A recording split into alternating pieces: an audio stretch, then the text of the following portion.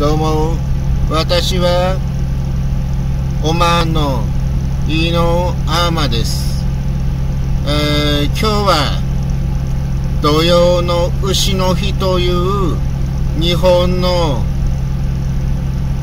伝統的文化を堪能したいと思います、えー、私の友達で土曜の牛の日はうなぎを食べるというだけでなくうがつくものだったら何でもいいと言われました。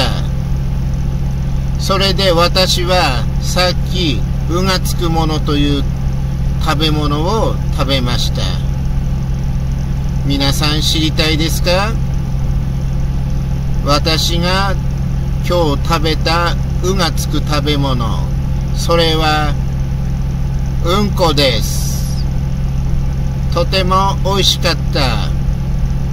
ではまた皆さんさようなら。